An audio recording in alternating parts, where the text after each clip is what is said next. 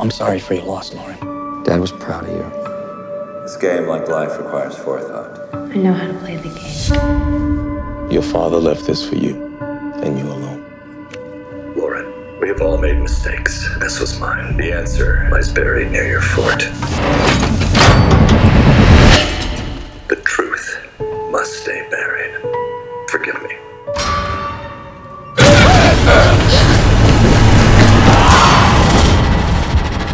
Who are you?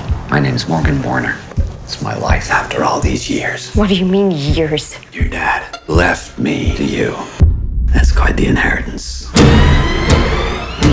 Is everything okay? Morgan Warner, ring a bell? We met so many people. A lawyer, a banker, and a politician. Quite the family. Does any daughter really know her father? He was a bad husband You're lying. and a worse father. Shut the hell up! Are you a good person, Lauren?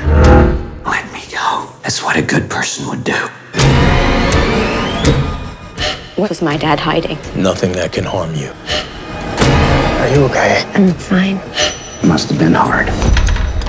Trying to please him, rebel against him at the same time. No more games. What happened between you and my dad? You will know the truth.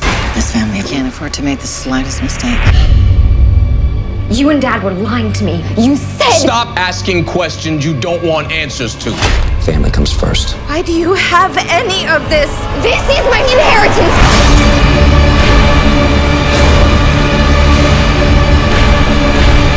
This is not my responsibility. I didn't ask for this. I want my freedom, Lauren.